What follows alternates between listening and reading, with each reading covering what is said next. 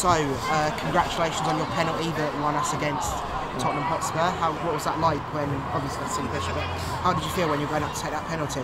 Uh, I was actually all right to be fair. Uh, People were saying you must have been nervous and whatever, but thought we tried to uh, let that go and uh, try and focus on making sure we uh, scored a penalty to get through.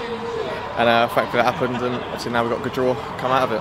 Yeah, so how are you, how are you feeling about that draw? Are you excited? Do you think Yeah, you can do yeah, it? yeah. Of course, of of course. You know, you can't. We're, no, we're never going to go into a game. You know, I think the Spurs game, people probably wrote us off thinking we'd never chance, but we believed we had a chance. Obviously, albeit a slim one, but the same as um, United, we still feel we've got a, a slim chance maybe. So uh, keep it tight. Try and keep it as uh, as less as an open game as possible. Maybe spoil the game a little bit, and who knows what can happen.